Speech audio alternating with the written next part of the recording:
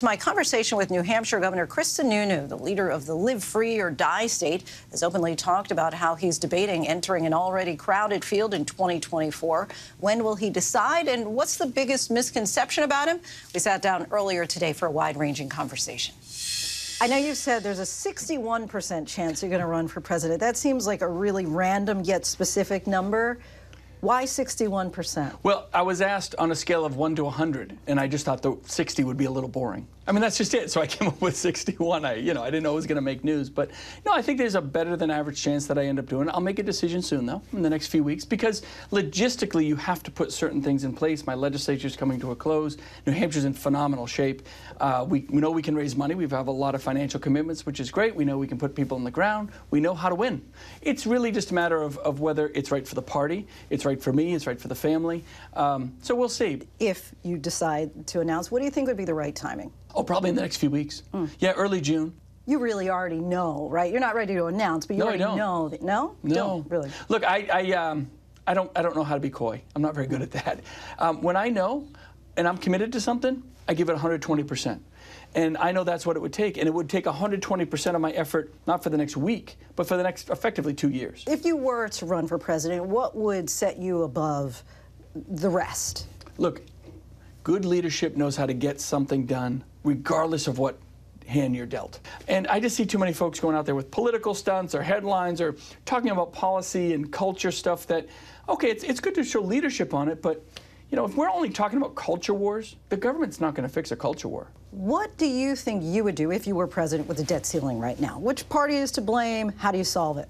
Well, look, typically Republicans don't like the idea of raising the debt limit, the, the debt ceiling, because we want to be, to be fiscally conservative. So Republicans came out first and said, you know what? We typically don't like doing this, but we'll be willing, we'll, we'll negotiate, we'll give a little, we'll be willing to raise the debt ceiling. All we ask is that you get this absolute out of control spending a little bit under control. The fact that the president's saying, nope, I mean, the president won because he convinced America he was a negotiator. He convinced America if the other side gives a little, I can find a common ground. He's proving he can't. I mean, it's, it's, it's a real crisis. You mentioned a little while ago culture wars. I think that that's kind of code for Ron DeSantis. Uh, no. He, no? Oh, no, there's a national culture war going on. No, it's not. It's not. It's not. Look, I, Ron is, you know, talks a lot about it. Vivek, Vivek Ramaswamy talks about it a lot. Former President Trump talks about it a lot. Folks at their school board meetings talk about it a lot. Folks are upset. And I don't, I don't blame them. I hate wokeism. I hate this cancel culture stuff. I hate this fact that, that we're saying, well, this group might be better than that group, and this group needs to get more privileges than that group. That is very un American.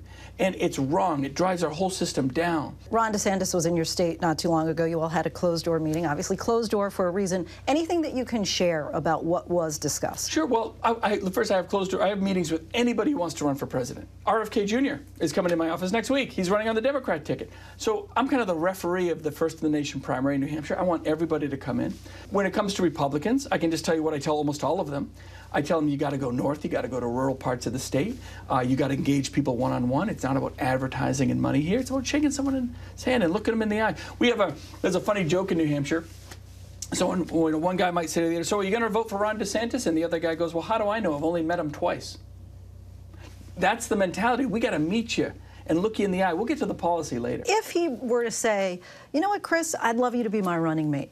Any chance you'd say yes? Oh, I don't know. I mean, it's not about Ron. I just don't know. Mm-hmm. I, I, would be, I'd, I'd, be honored to be even invited to be the running mate for, for most of the, the, the candidates because they're all friends. I mean, they really are. Mike Pence, I've, I've, worked, Vice President Pence, we worked very closely for years, and I have uh, tons of respect for Nikki Haley and Tim Scott, and is just incredible. Uh, he, the, what, the, barriers he's overcome, and you know where he's he's coming. His story is incredible. So these are all really, really good candidates. So um, I'd be honored to even be considered, but nothing I'm thinking about right now. You mentioned just a few of them. I think to date we're at about nine uh, GOP candidates. Well, is, it's only uh, yeah, it's still that's early. Right, give, that's it, right. give it a little more time in the day to see happens. is there any part of you that thinks, uh, you know, if I add my name, this is going to increase the likelihood that, the Trump wins the sure. nomination? Yeah, yeah, no, there's no, definitely. Now, again, not just that he's going to win the nomination, but am I going to be the 12th guy on the debate yeah. stage, right? I would love to get in the debates. I think that's kind of where I shine. I have a, a little bit of a different personality and approach for, for folks. Nothing really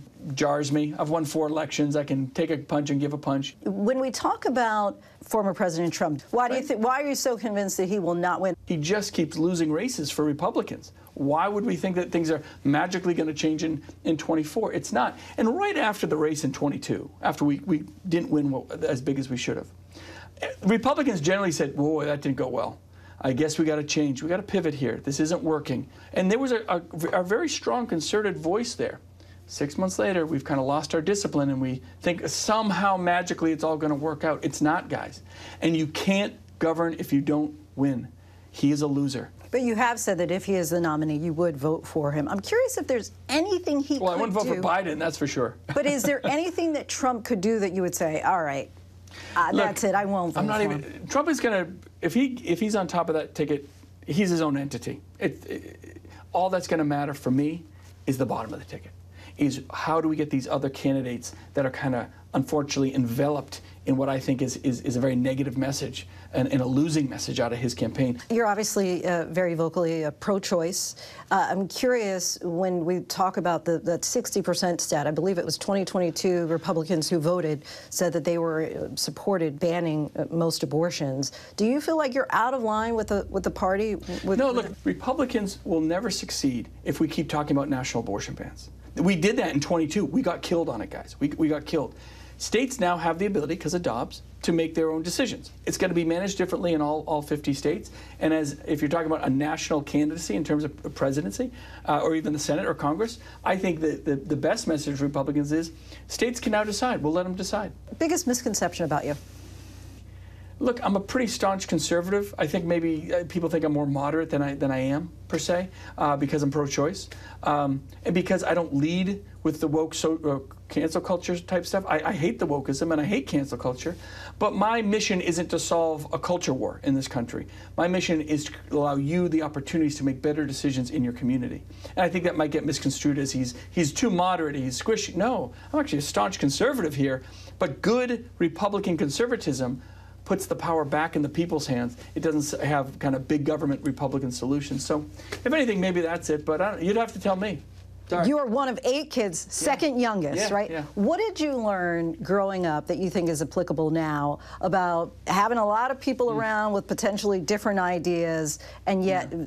still staying unified? My dad's best advice was the most valuable thing I can give is my time. Mm. I do all my own grocery shopping if someone wants has an issue, they can come right up to me in the cereal aisle or whatever it is, and and tell me what's going on. And do people?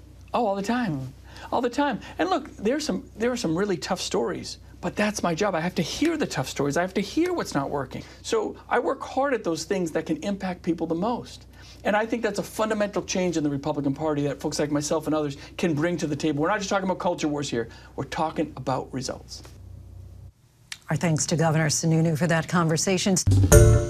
Hi, everyone. George Stephanopoulos here. Thanks for checking out the ABC News YouTube channel. If you'd like to get more videos, show highlights, and watch live event coverage, click on the right over here to subscribe to our channel. And don't forget to download the ABC News app for breaking news alerts. Thanks for watching.